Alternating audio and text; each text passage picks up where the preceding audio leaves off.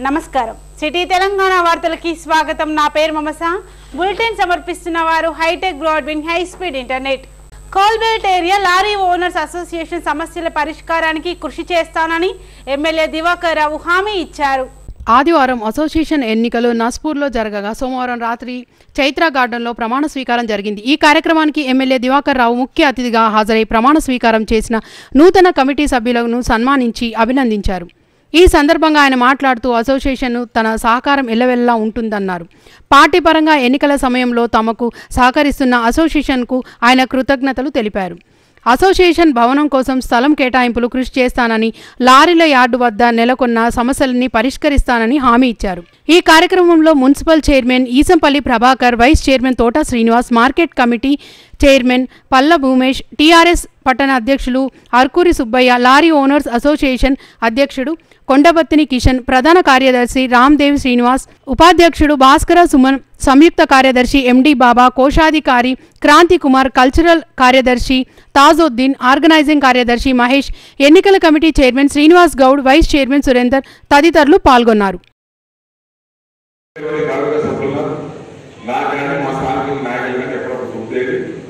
నేను కూడా first GM గారితో ఇవాళ రేపు మాట్లాడతాను ఆయన ఇస్తే ఈజీ ఉంటుంది. ఆయన చేతిలో ఉంటుంది.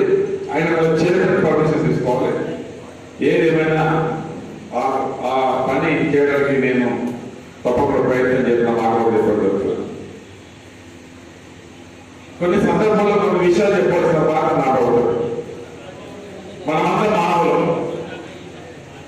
మన వ్యాపారం ఎవరంతా వాళ్ళు ఎదుర్కొంటారు మీరేమో లారీ ఫీల్డ్ అనుకోండి వ్యాపారం ఫీల్డ్ అనుకోండి ఇంకా ఇతర కార్యక్రమాలు ఎదుర్కొంటారు ఎప్పుడైనా ఎక్కడైనా ఒక మంచి రాష్ట్రానికి నాయకత్వం చాలా అవసరం. ఒక రాష్ట్రానికి అన్ని ప్రాంతాలకు ఒక మంచి నాయకత్వం అవసరం. ఏ నాయకుడు నేను బాగా మంచిదని చెప్పుకుంటాడు దానిలో ఎవరు కూడా నేను నేను చెడ్డ వ్యక్తి చెప్పుకోడు ఎవరు కూడా. ఏ ప్రభుత్వం నేను చాలా బాగా చేస్తానని చెప్పుకుంటారు ఎందుకు ఈ మాట చెప్తుందంటే ఇలా రాష్ట్రమంతా రాష్ట్రంలో మహిళలపై దాడులు రోజు రోజుకు పెరిగిపోతున్నాయి. కామాంధులు ప్రేమోన్మాదులు రెచ్చిపోతున్నారు. మంచిర్యాల జిల్లాలో ప్రేమోన్మాది వీరంగం సృష్టించాడు. తన ప్రేమను అంగీకరించకపోవడంతో ఓ ఉన్మాది యువతి గొంతు కోసి తీవ్రంగా గాయపరిచాడు. రాష్ట్రంలో మహిళలపై దాడులు రోజురోజుకు పెరిగిపోతున్నాయి. కామాంధులు ప్రేమోన్మాదులు రెచ్చిపోతున్నారు. మంచిర్యాల జిల్లాలో ప్రేమోన్మాది వీరంగం సృష్టించాడు. మంచిరాల్ జిల్లాలోని విలేజ్ నస్పూర్లో ఈ దారుణం ఘటన చోటు చేసుకున్నది. పోలీసులు తెలిపిన వివరాల ప్రకారం స్థానికంగా ఉండే గడ్డం సాయి కిరణ్ అనే యువకుడు అదే ప్రాంతానికి చెందిన మనస అనే యువతిని ప్రేమ పేరుతో వేధిస్తున్నాడు. ఆమె అతడి ప్రేమను తిరస్కరించడంతో సోమవారం కళ్ళు గీసే కత్తితో యువతి గొంతు కోసి పరారయ్యాడు. దీంతో యువతికి తీవ్ర గాయాలయ్యాయి. ఈ విషయం గమనించిన స్థానికులు కుటుంబ సభ్యులు వెంటనే ఆసుపత్రికి తరలించారు. వైద్యులు చికిత్స అందిస్తున్నారు. ప్రస్తుతం ఆమె పరిస్థితి విషమంగా ఉందని ఇరవై నాలుగు గంటలు గడిస్తే కానీ ఏమీ చెప్పలేమని వైద్యులు తెలిపారు.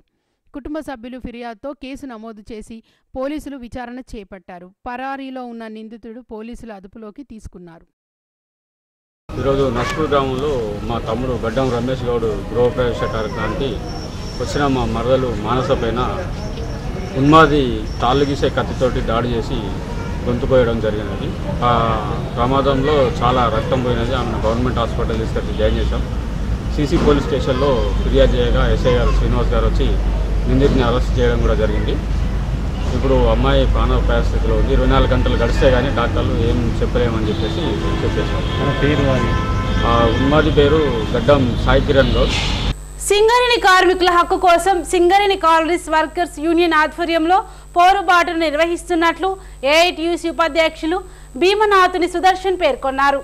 అమరవీరుల త్యాగాల స్ఫూర్తితో సింగరేణి సంస్థ పరిరక్షణ కార్మికుల హక్కులకై Singareni collieries workers union AITUC ఆధ్వర్యంలో పోరుబాటను నిర్వహిస్తున్నట్లు ఏఐటియుసి మందమరి బ్రాంచ్ ఉపాధ్యక్షుడు భీమనాథుని సుదర్శన్ పేర్కొన్నారు. మంగళవారం మందమరి ఏరియాలోని కేకే వన్ గనిపై ఏఐటీసీ ఆధ్వర్యంలో ద్వార సమావేశం నిర్వహించి పోరుబాట యాత్ర వాల్ పోస్టర్ను విడుదల చేశారు. ఈ సందర్భంగా ఆయన మాట్లాడుతూ ఏప్రిల్ ఇరవై ఏడున గోలేటులో పోరుబాట యాత్ర ప్రారంభమై మే తొమ్మిదిన కొత్తగూడెంలో ముగుస్తుందని ఏప్రిల్ ఇరవై ఎనిమిది మందమరి ఏరియాలో యాత్ర కొనసాగుతుందని యాత్రలో ఏరియా కార్మికులు అధిక సంఖ్యలో పాల్గొని విజయవంతం చేయాలని కోరారు. ఈ కార్యక్రమంలో ఏఐటీసీ గనిఫిట్ కార్యదర్శి వెల్ది ప్రభాకర్ ఏరియా నాయకులు దేవసాని సాంబయ్య పెద్దపల్లి బానయ్య దేవులపల్లి శ్రీనివాస్ ఓం నారాయణ వీర్ల సర్జన్ తులసీరాం అజయ్ దినేష్ మస్కా భూమయ్య తదితరులు పాల్గొన్నారు. కార్మికుల హక్కు కోసం ఏఐటీసీ ఆధ్వర్యంలో ఈ నెల ఇరవై ఏడవ తేదీ నుండి మే ఎనిమిదవ తేదీ వరకు జరిగే పోరుబాటకు సంబంధించిన వాల్ పోస్టర్లను ఎండి అక్బర్ అలీ విడుదల చేశారు. Mandamarri area Ramakrishnapur RK one A గని ఆవరణలో సింగరేణి రక్షణ కార్మిక హక్కుల కొరకు అమరవీరుల స్ఫూర్తితో ఏఐటియుసి ఆధ్వర్యంలో ఈ నెల ఇరవై ఏడు నుండి మే తొమ్మిది వరకు తలపెట్టిన ఏఐటియుసి పోరుబాటకి సంబంధించిన వాల్ పోస్టర్లను మంగళవారం విడుదల చేశారు. ఈ కార్యక్రమం ఎస్సీడబ్ల్యూ ఏఐటియుసి రామకృష్ణాపూర్ బ్రాంచ్ కార్యదర్శి ఎండి అక్బర్ అలీ అధ్యక్షతన జరిగింది. అక్బర్ అలీ మాట్లాడుతూ ఏఐటియుసి పోరుబాట ఈ నెల ఇరవై ఏడున గోలేటిలో ప్రారంభమై మే తొమ్మిదిన కొత్తగూడెంలో ముగుస్తుందని అన్నారు. ఈ కార్యక్రమం విజయవంతం చేయాలని పిలుపునిచ్చారు. సింగరేణి యాజమాన్యం జీతం లీవ్ లీవ్ కేవలం మూడు సార్లు మాత్రమే వాడుకోవచ్చని సర్కులర్ జారీ చేయడం సరికాదని అన్నారు.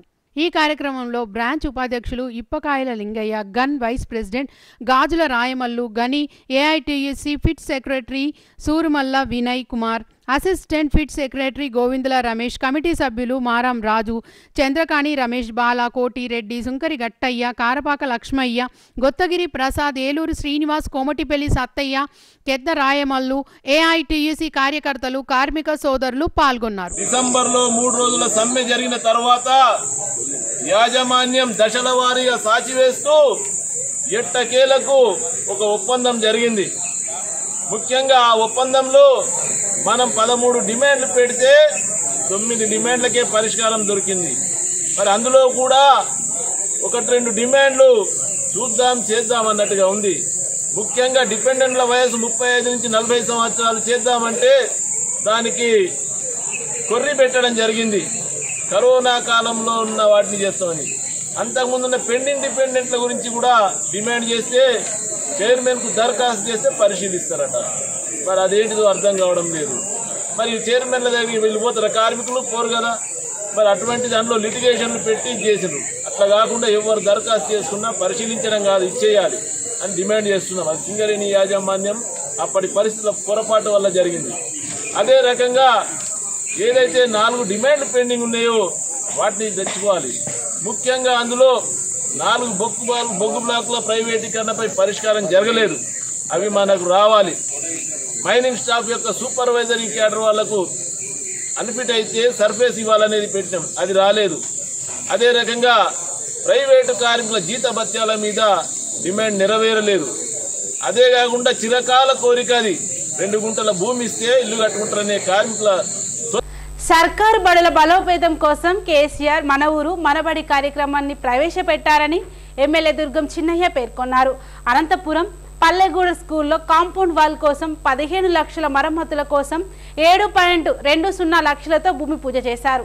కాశీపేట మండలంలోని పల్లంగూడ చిన్నధర్మార పంచాయతీ పరిధిలో ప్రభుత్వ ప్రాథమిక పాఠశాలలో మంగళవారం మన ఊరు మనబడి కార్యక్రమాన్ని ప్రారంభించారు. విద్యార్థులు చక్కగా చదువుకునేలా పాఠశాల అభివృద్ధి ప్రజలు భాగస్వాములు కావాలని పిలుపునిచ్చారు. అనంతరం పల్లంగూడలో స్కూల్ కాంపౌండ్ వాల్ కొరకు పదిహేను లక్షలు మరమ్మతుల కొరకు ఏడు పాయింట్ ఇరవై లక్షలతో భూమి పూజ చేశారు. ఈ కార్యక్రమంలో MPP Rodla Lakshmi ZPTC Malle Chandraiah vice MPP Puskuri Vikram Rao MPEO Damodar sarpanch Dussa Vijaya Bukya Sunitha MPTC Navanadula Chandramouli Kondabathula Ramachander Akkepalli Lakshmi Daravath Devi ఉప సర్పంచ్ బోయిన తిరుపతి రంగు సంతేష్ అశోక్ తెరాస కార్యదర్శి Moturi Venu market committee director Manjulareddy TRS నాయకులు అగ్గి సత్తయ్య తదితరులు పాల్గొన్నారు.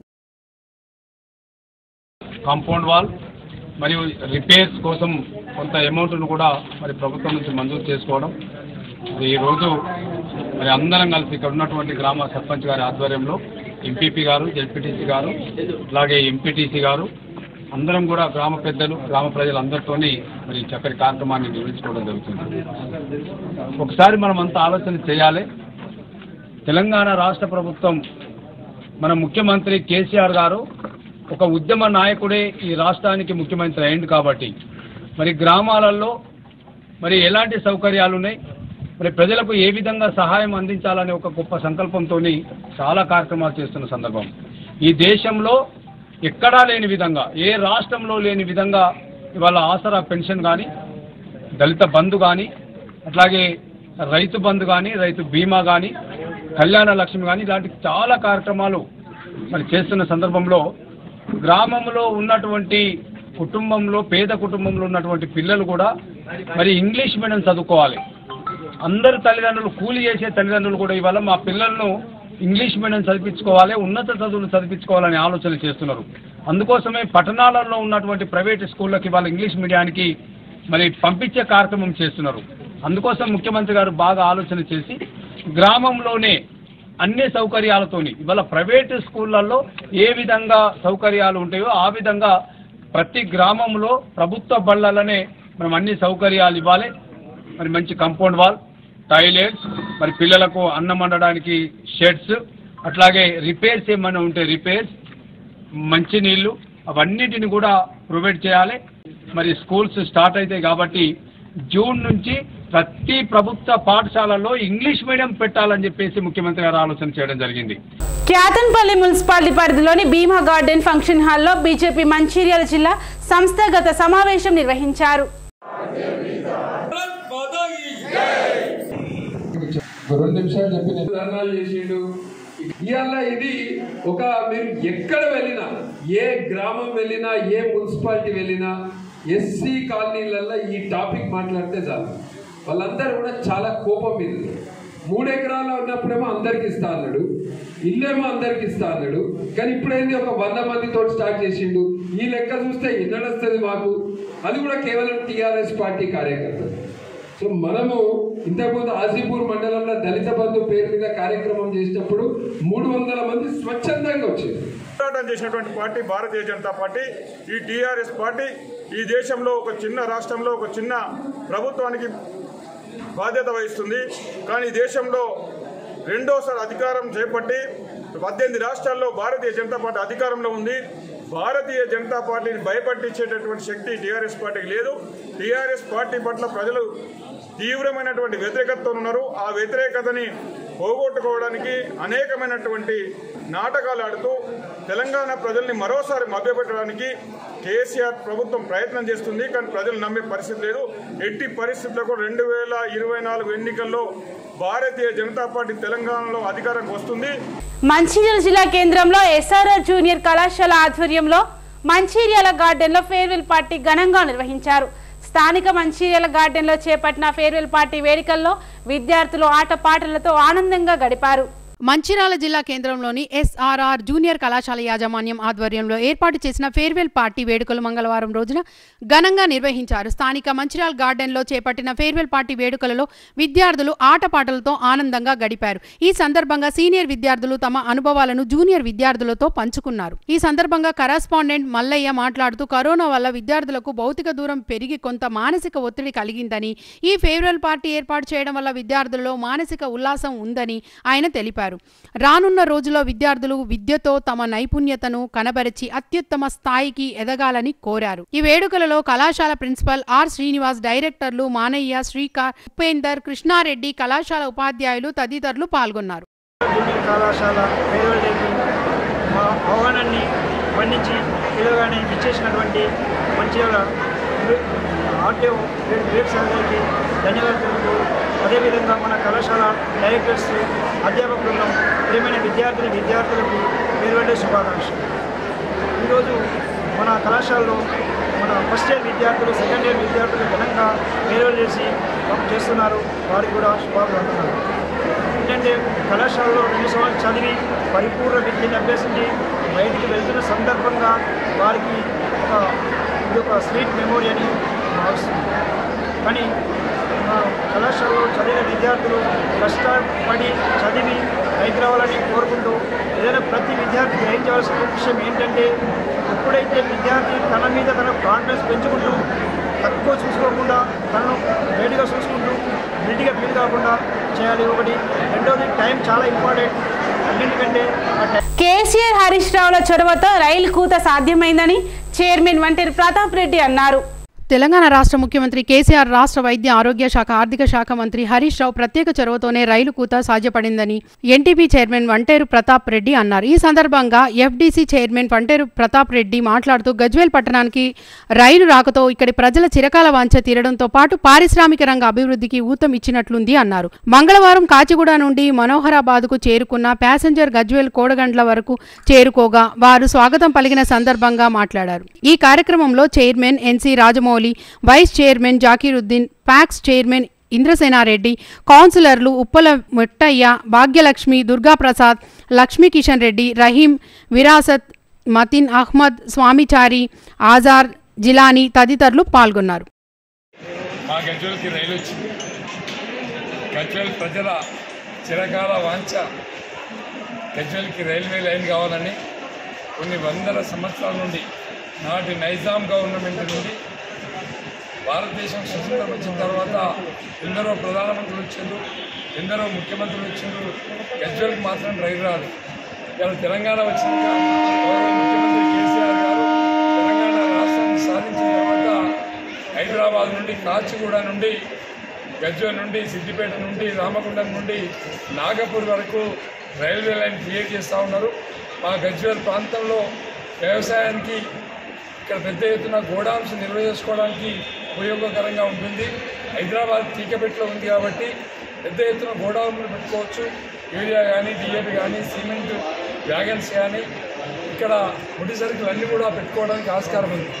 అదేవిధంగా మా గజ్వేల్ నియోజకవర్గంలో ఇలా యావత్ ప్రపంచానికి సీడ్ ఇక్కడి నుండి పంపిస్తూ ఉన్నాం. మా గజ్వేల్ నియోజకవర్గంలోనే పెద్ద ఎత్తున సీడ్ ఇండస్ట్రీస్ ఉన్నాయి. సీడ్ కూడా పంపిస్తూ ఉన్నాం. ఆ సీడ్ ఇండస్ట్రీ కూడా పెద్ద ఎత్తున ఉపయోగకరంగా ఉంటుంది.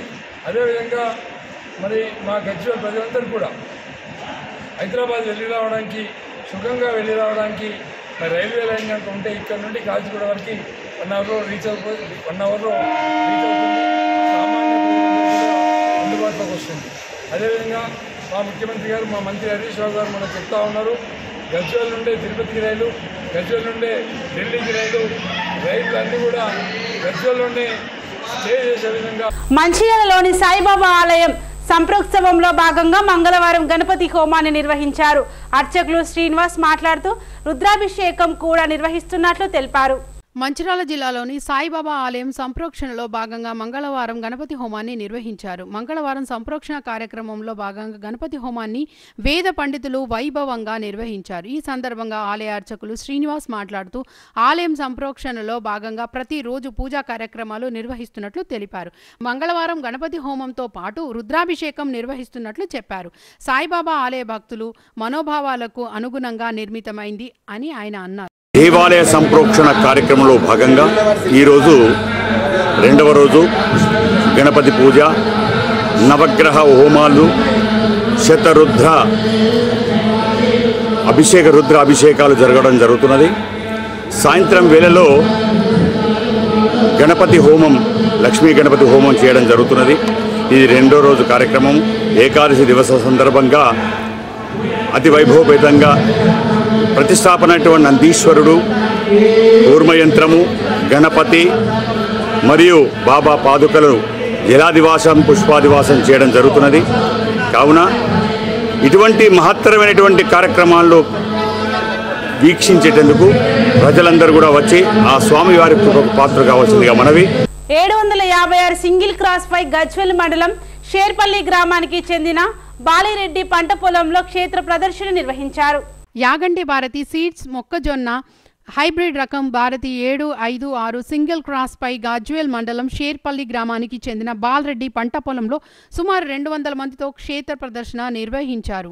ఈ సందర్భంగా యాగంటి భారతి సీడ్స్ మేనేజర్ మధుసూదన్ మాట్లాడుతూ Bharathi seven fifty six hybrid మొక్కజొన్న కాండం బలంగా సన్నగా గింజలు నారింజ రంగులో ఉంటాయని ఆయన చెప్పారు. ఈ ప్రదర్శనలో చుట్టుప్రక్కల గ్రామాలైన దిలాల్పూర్ అనాజీపూర్ కోల్గూర్ బంగ్లా వెంకటపూర్ ధర్మారెడ్డి పల్లీల నుండి రైతులు పెద్ద ఎత్తున పాల్గొన్నారు. ఈ కార్యక్రమంలో company distributor Bunari Mallesham Bharathi seven fifty six variety గురించి రైతు మిత్రులకు తెలియజేశారు.